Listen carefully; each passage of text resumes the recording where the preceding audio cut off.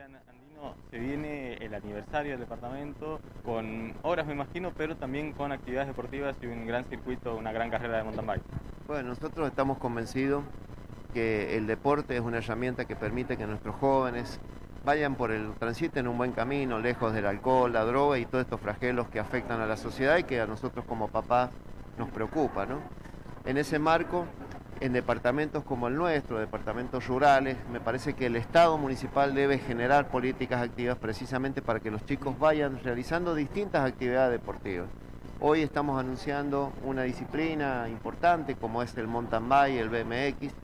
Se, está, se va a condicionar, se va a crear un circuito de mountain bike y BMX en un predio cerrado, iluminado, donde además también vamos a crear una escuelita de mountain bike, ¿no? Para que los chicos puedan ir ahí con su bici y empezar a, aprender las primeras técnicas. Y a partir de ahí después, por supuesto, está el circuito del Cerro Pie de Palo, donde también es hermoso y muy lindo para, realizarlo, ¿no? Así que muy contento.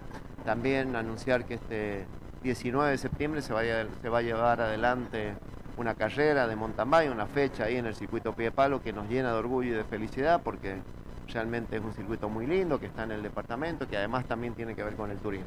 Exactamente, una fecha importante, entonces justamente por lo que hacemos el aniversario también del departamento y se están haciendo obras eh, interesantes, por ejemplo la ciclovía también para apoyar lo que es el ciclismo. Estamos construyendo ciclovías, estamos haciendo vivienda, obras de iluminación, obras que tienen que ver con la seguridad, eh, asfalto, realmente se está haciendo mucho, mucha obra pública, espacios verdes, salones en los clubes.